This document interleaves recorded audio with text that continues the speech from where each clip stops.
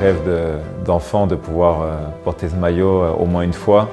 Et une fois que je l'ai porté, de l'avoir porté pendant 487 matchs, 14 titres, 7 ans, enfin, c'est énorme. Avec un peu de recul, c'était quelque chose d'exceptionnel. J'ai vraiment pris le temps justement cet été, quand le moment était venu de, dire au revoir, de vraiment voilà, revoir quelques images, euh, réfléchir un peu à tout ce qui s'était passé sur les sept dernières années.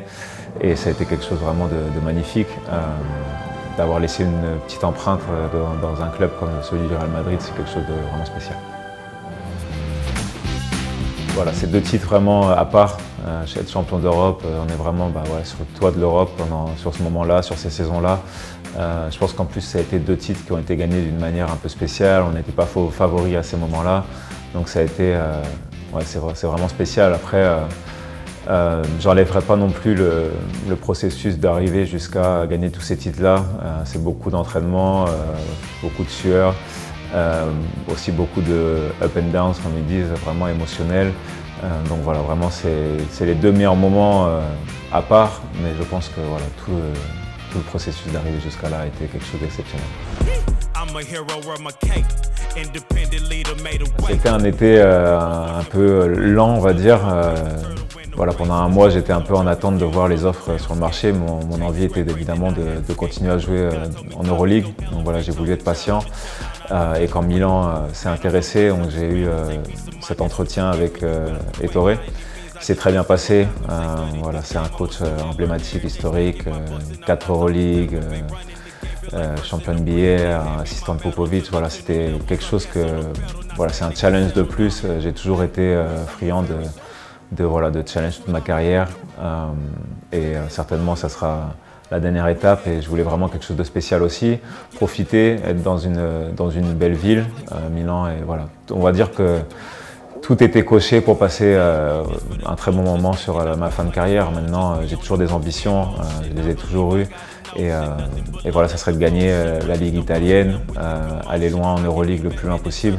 Je pense qu'on a une équipe qui doit être humble dès le début parce qu'on a beaucoup de nouveaux joueurs, beaucoup de jeunes. Mais voilà, j'ai vraiment confiance en, notre travail et, l'ambition que, nous, avons.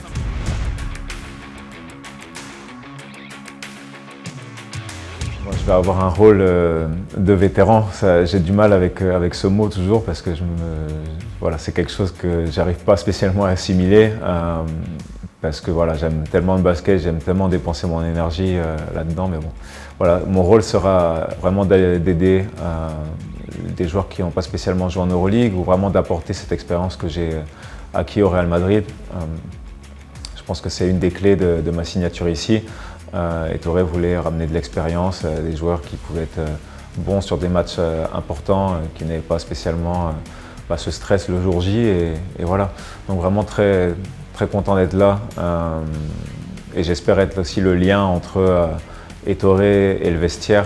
Euh, c'est un coach qui est très dur, qui a des fois des, gros coups de gueule comme on dit et, du coup je pense que d'avoir un joueur qui arrive à passer le message d'une autre manière et rester sur le côté positif bah, de ce message qu'essaie de passer l'entraîneur, c'est quelque chose qui est important pour un groupe comme le nôtre. toujours aimé les, challenges.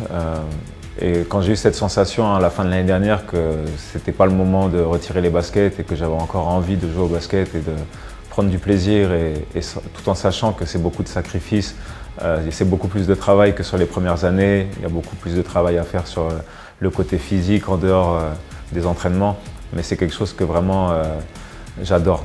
j'adore passer du temps à prendre soin de mon corps et, à me préparer justement pour pour des gros matchs euh, et pour une saison qui est euh, aussi difficile comme, euh, comme celle de l'Euroleague. voilà, on va jouer 90 matchs, c'est quelque chose d'énorme.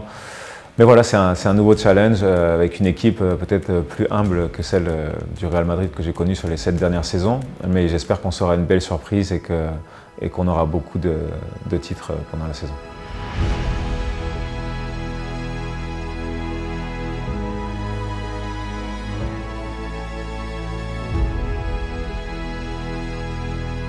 Oui, bien évidemment, j'ai suivi depuis le début, depuis les matchs de préparation euh, jusqu'à la finale des Jeux Olympiques.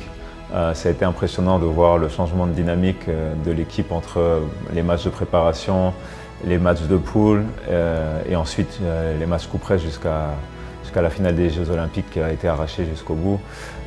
donc vraiment, on est tous très fiers de, de ce résultat. Bravo à eux et bravo à l'équipe de France. Évidemment, je vais essayer de suivre euh, le Stade brestois pendant ces matchs de, Ligue des Champions. C'est quelque chose d'historique pour le club, euh, c'est quelque chose que personne n'attendait. Et, voilà, on va les suivre les encourager. Euh, voilà, c'est ma ville, c'est vraiment quelque chose de spécial de pouvoir les suivre comme ça. Je ne suis pas spécialement le foot, mais c'est vrai que je vais vraiment me forcer à, regarder ces matchs-là parce que voilà, c'est quelque chose d'historique pour les Brestois. Pense que je vis au jour le jour, je l'ai toujours fait. Euh, c'est vrai que des fois j'essaie de me projeter, même ma femme est la première à me dire de, ne pas le faire.